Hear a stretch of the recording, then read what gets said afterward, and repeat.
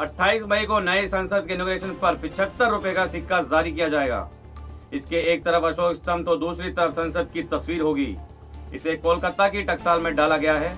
इस मौके पर एक स्टाम्प भी लॉन्च किया जाएगा। हालाँकि सरकार ने अब तक सिक्के की फ़ोटो जारी नहीं की है। पीएम नरेंद्र मोदी नए संसद भवन का इनोग्रेशन करेंगे।